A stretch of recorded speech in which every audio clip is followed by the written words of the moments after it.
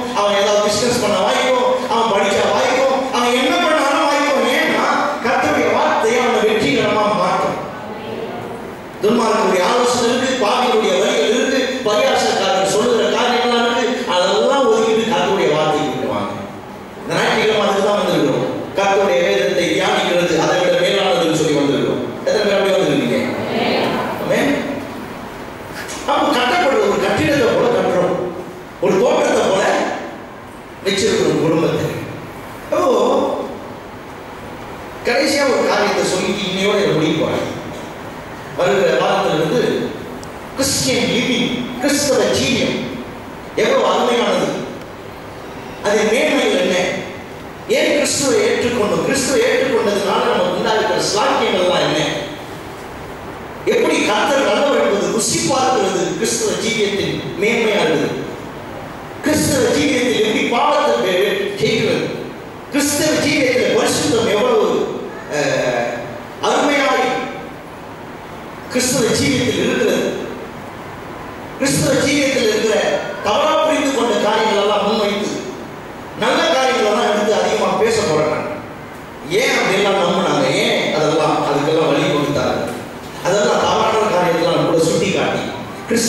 ஊழியம் எவ்வளவு வெற்றிகரமாக வாழ முடியும்? ஏற்றுக்கொண்ட அத்தனை பேர் அவர் வருகை வரைக்கும் சாட்சியாக வாழ முடியும். முடிவு வரையிலும் நிலைநிறுத்த முடியும். அருமையான ஒரு கிறிஸ்தவ வாழ்க்கையை கடவுள் நம்ம கையில் கொடுத்துருக்கிறார். வருகிற வாரத்தில் அதை பேச போறேன். இன்றைக்கு ஞானத்தை பற்றி முடிக்க போறேன். கடைசியாக ஒரு காரியத்தை சொல்ல போறேன். அது என்னன்னா மத்தையு மத்தையு பத்தொன்பதாம்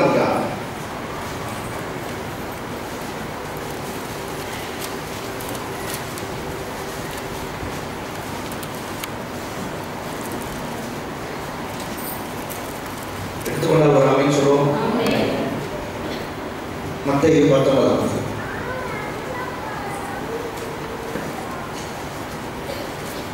சொல்ல காரியம் இல்லையா குடும்பம் என்பது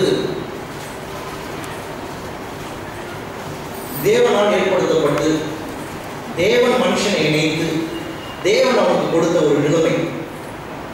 அவனுக்கு உண்டாகின்ற ஒரு பாதுகாப்பான ஒரு நிலைமை. நான் சொல்றதெல்லாம் கேட்டேன் அது ஒரு பாதுகாப்பான ஒரு நிலைமை.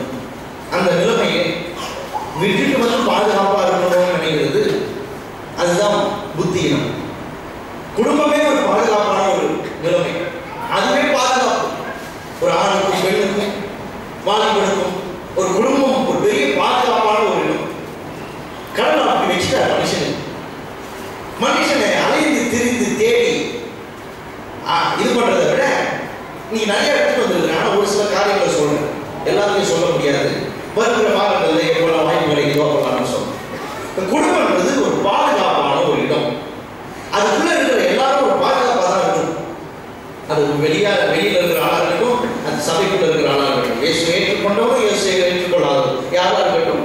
குடும்பம்ன்ற ஒரு பாதுகாப்பான நிலைமையில கடவுள் வச்சுட்டார். மனுஷனே அந்த மாதிரி ஒரு பாதுகாப்பான நிலைமை வச்சுட்டார். இந்த பாதுகாப்பு அருமையான பாதுகாப்பு. இதுல சில டெவலப்மெண்ட்லாம் இருக்கும்.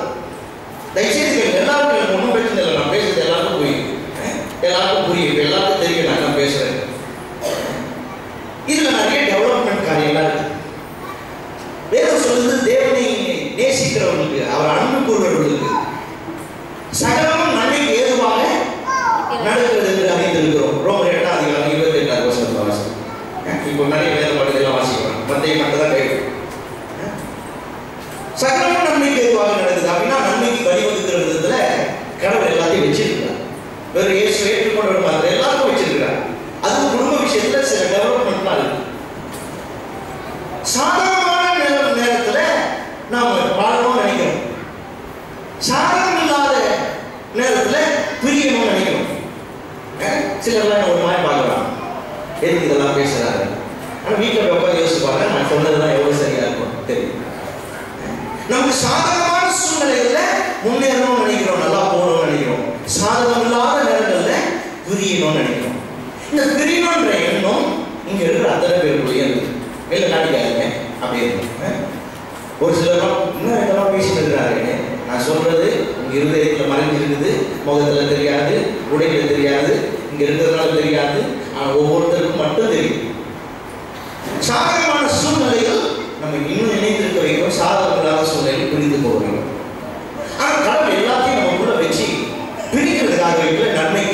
நம்ம இன்னும் இணைக்கப்பட இன்னும் கட்டப்பட இன்னும் சேர்ந்து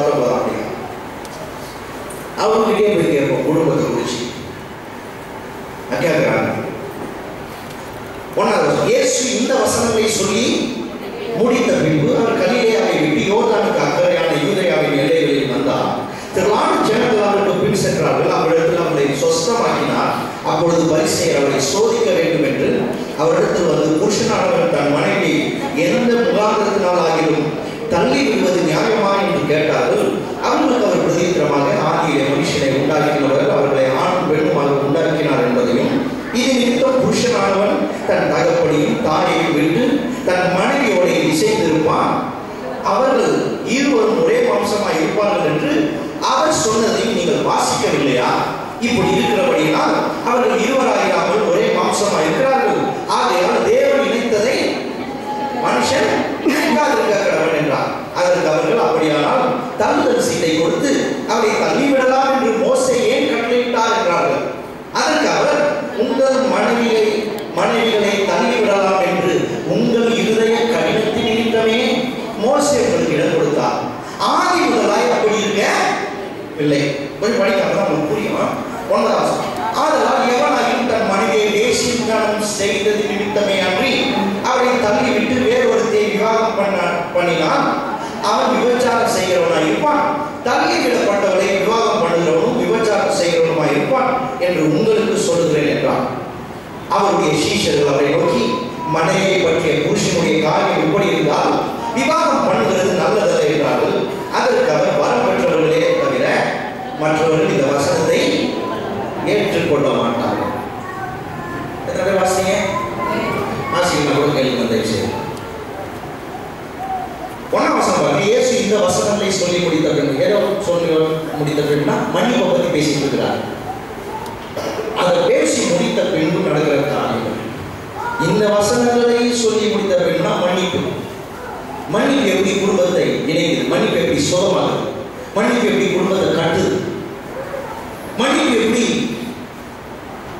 பழைய காரியங்களை விட்டு அஹ், மறக்க செய்யுது பிரச்சனைகளை விட்டுட்டு திரும்பவும் சேர்த்துக் கொள்வதை செய்யும் மன்னிப்பு அவர் அவ்வளவு மனைவி இருக்கு. மனைவி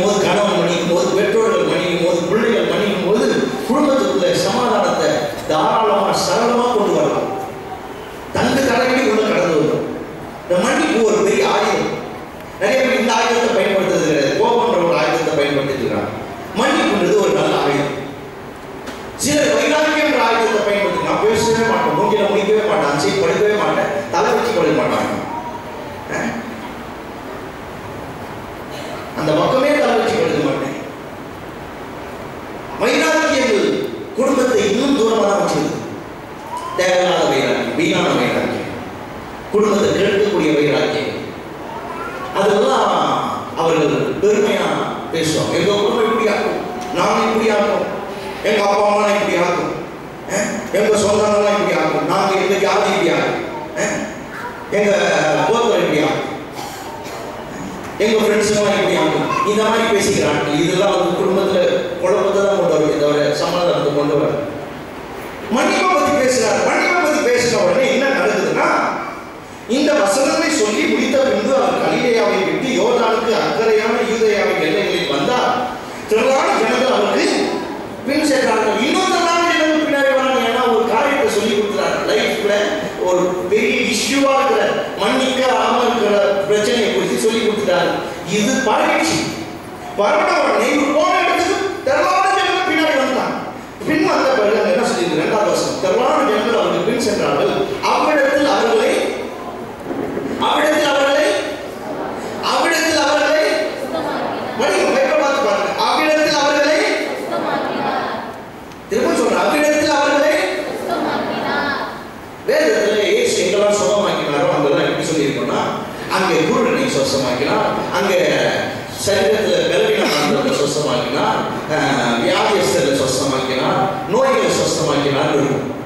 ஒரு லிஸ்ட் இருக்கும். யாரெல்லாம் சொஸ்தமாக்கினா பீடியாளிகளை சொஸ்தமாக்கினா சந்திர ரோகிகளை சொஸ்தமாக்கினா அப்படி என்னெல்லாம் சொல்லப்படணும் அப்படிலாம் சொல்லிடுது யாரெல்லாம் சொஸ்தமாக்கினா இந்த சொஸ்தமாக்கினான்னு சொல்ல யாரை சொஸ்தமாக்கினான்னு சொல்லப்படல. எப்படி சொல்லியிருக்குன்னா எதை சொஸ்தமாக்கினான்னு சொல்லப்படல? அவர்களை சொஸ்தமாக்கினா பெருமான ஜனங்கள் வந்திருக்கிறாங்க பெரிய ஸ்வஸ்தமா இருக்கிறாரா? என்ன ஸ்வஸ்தம்? என்ன சுகத்தை ஏற்படுத்திருப்பார் நான் சொல்றேன் சரீர பிரகாரமா எழுத சரீர பிரகாரமானா அந்த மென்ஷன் ஆகிக்கும் சரீர பிரகாரமானா அந்த நிச்சயமா ரெக்கார்ட்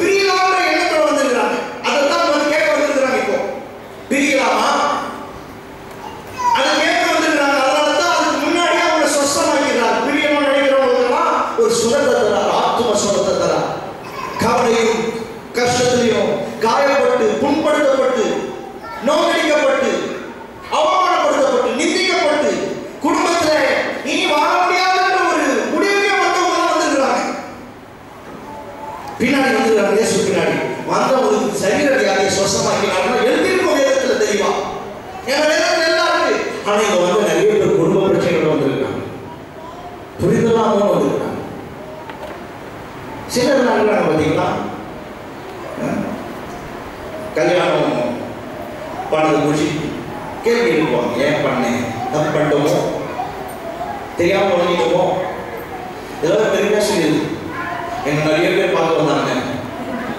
நிறைய பேர் பார்க்க வந்தாங்க ஏன் உங்களை பிடிக்கலன்னு சொன்னாங்க. தப்பிச்சுட்டாங்க நிறைய பேர் பார்க்க வந்தாங்க. சிலர் சொல்றது ரெண்டு வருஷம் பார்த்தாங்க. ரெண்டு வருஷமா ஒருத்தவங்க செட் ஆகவே ரெண்டு வருஷம்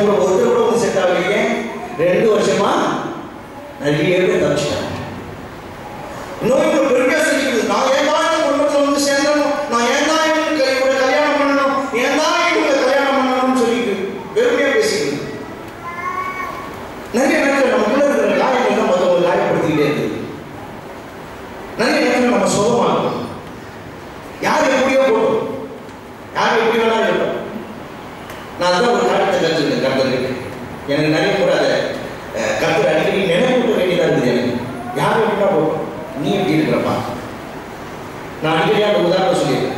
பைக் ஒரு நாள் ஓடிக்கிட்டே போயிட்டு இருக்கிறேன் ஃப்ரெண்டில் வரவர்கள் சொன்ன வண்டியில் லைட் எரியுது. இவர் சொன்னார் உங்களுக்கு கூட எரியுதுல்ல. அதில் இருந்து வாய மூடிட்டு பண்ணுறேன் மற்றவங்க எரிஞ்சாலும் என் லைட்டில் இருந்து எரியுதான் மாத்திரம் தான் செக் பண்ணுவேன். சொல்கிறதே இல்லை எரிஞ்சா எரிஞ்சு போட்டோம். எந்த எரியுதான் ஆஹா. அப்படியே எங்களை எரியுதுன்னு சொல்கிறாங்க பாருங்க ரோட்டில் அவங்க கிட்ட தேங்க்ஸ் சொல்லிட்டு என் நம்பர்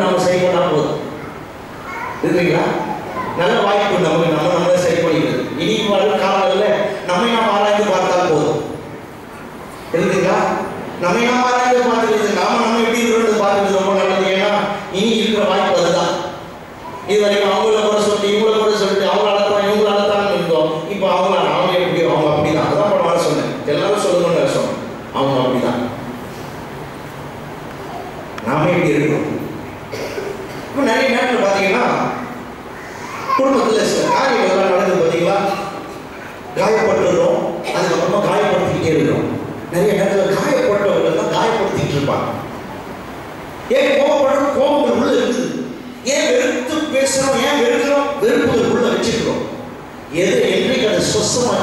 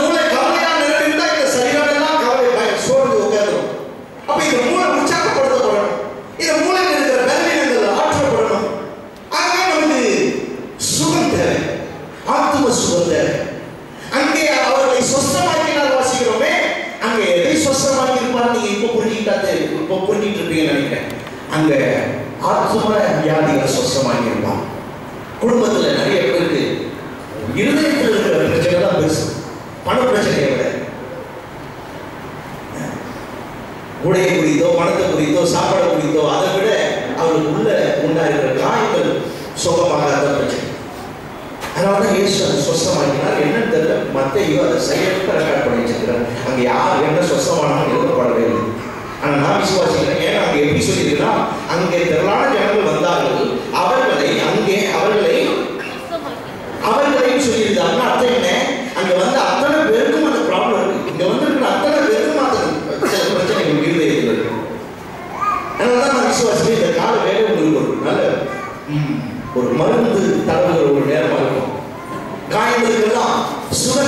தடை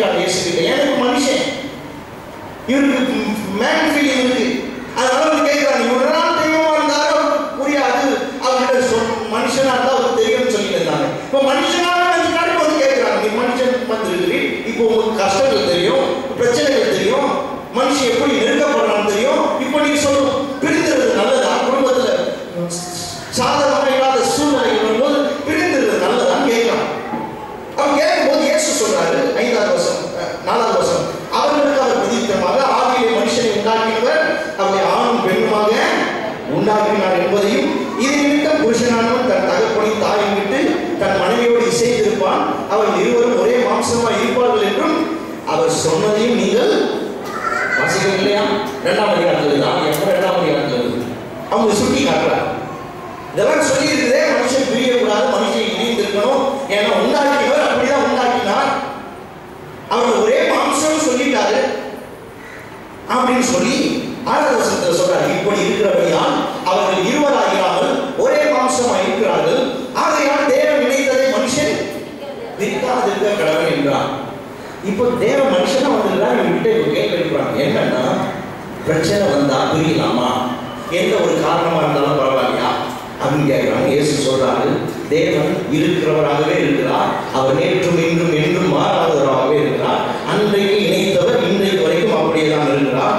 அன்றைக்கு மனுஷன் எந்த நோக்கத்துக்காக இணைத்தாரோ அதே நோக்கத்துக்காக இன்றைக்கும் மனுஷன் இணைத்துக் கொண்டுதான் இருக்கிறார். அவர் மனுஷனை பிரிக்கிறது அவருடைய விருப்பம் சித்தம் இல்லைன்னு சொல்றார்.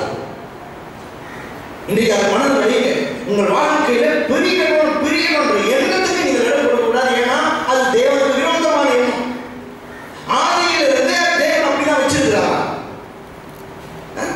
ஏழாவது வசனம் அதற்கு அவர்கள் அப்படியானால் தள்ளுதல் கொடுத்து அவளை தள்ளிவிடலாம் என்று மோசையை கட்டளையிட்டார் என்றார்கள் என்னவா? டிவோர்ஸ் விவாகரத்து பண்ணலாம்.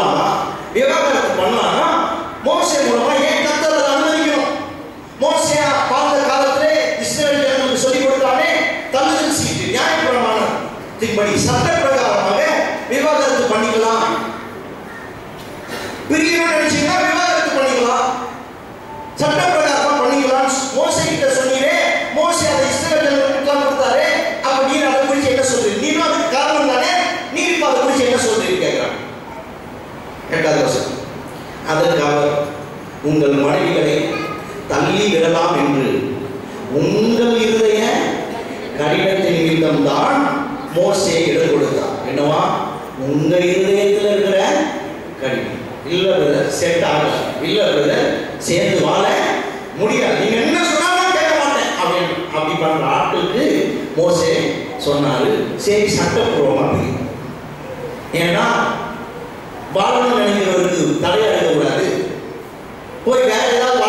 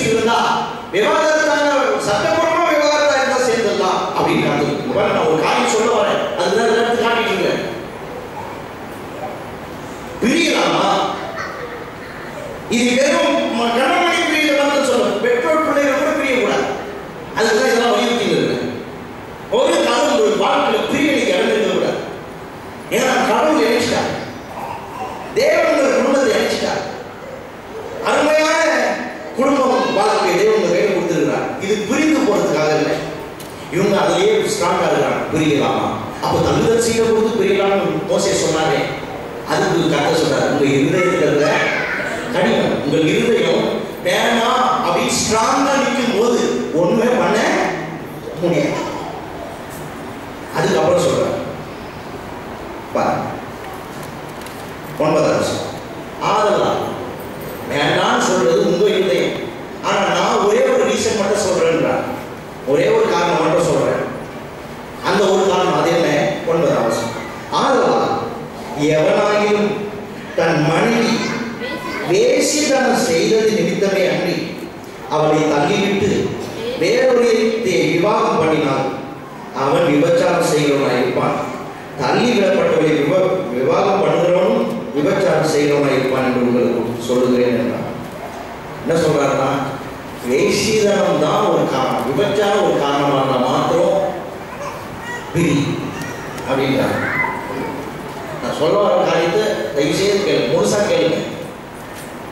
பிரியணுன்ற எண்ணம் வந்தா அதுக்கு கத்து இடம் கொடுக்கறது இல்லை. ஆனால் இருதய கடினம் ஒரு பிற்காலத்தில் யோசிச்சு ஒருவேளை குடும்ப வாழ்க்கை வாழலாம்னு யோசிக்கிறவனுக்கு பிரச்சனை வரக்கூடாதுன்னு சொல்லி கடவுள் தங்குதல் செய்யும் விவாகரத்து சட்டப்படி பிரியறதை வச்சிருந்தார் அது கூட எதுக்காக மனுஷனுக்கு இருக்கிற? மன நம்ம நாட்டில் கொஞ்சம் வெயிட் பண்ண வைப்பான். ஒரு வருஷமோ ஒரு சில காலம் வெயிட் பண்ண சொல்லுவான். உடனே கொடுத்துட மாட்டான். எதுக்காகனா வாய்ப்பு இருக்கும். சேர்றதுக்கு ஒரு வழி இருக்கும். திரும்பவும் ரெண்டு பேரும் ஒன்றுபடுறதுக்கு வாய்ப்பு இருக்கும். வெளிநாடுகள்லாம் இதெல்லாம் சதவீதம்